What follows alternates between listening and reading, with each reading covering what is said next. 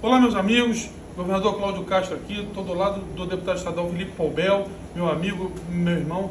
Poubel, eu queria te agradecer pelas fiscalizações.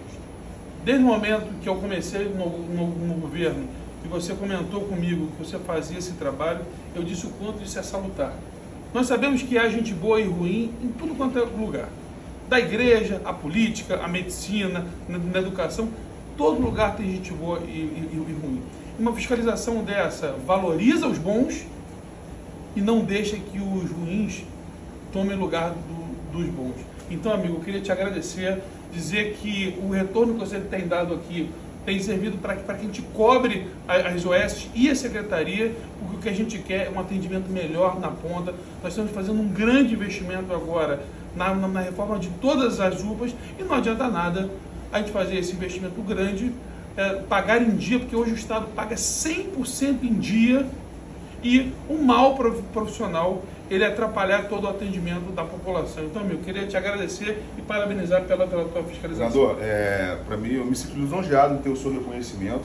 Né? Cabe salientar que tem aquele velho ditado, quem não deve não teme. Então nós estamos aqui ouvindo o governador favoráveis às nossas fiscalizações, até porque hoje eu sou e quero ser, continuar sendo seus olhos fiscalizando né, as unidades de saúde do Estado do Rio de Janeiro. Uma pessoa que chega a procurar uma unidade pública de saúde é porque está precisando, governador. É isso Nós não podemos né, deixar de tratá-la com excelência. Por isso eu estou tendo aqui, né, me sentindo lisonjeado com esse elogio, com esse reconhecimento, porque o governador hoje né, merece os parabéns. Parabéns pelo investimento de mais de 41 milhões de reais na, nas reformas dessas unidades, levando um atendimento digno para a população e tratando os profissionais de saúde com dignidade, que é um, um local de trabalho decente. Então, parabéns, governador. Vou continuar fiscalizando sim, serei e continuarei sendo seus olhos para que o dinheiro seja retorne à população o serviço bem prestado. Parabéns, governador. Obrigado. E ó, você que é o bom médico, isso serve inclusive para te valorizar.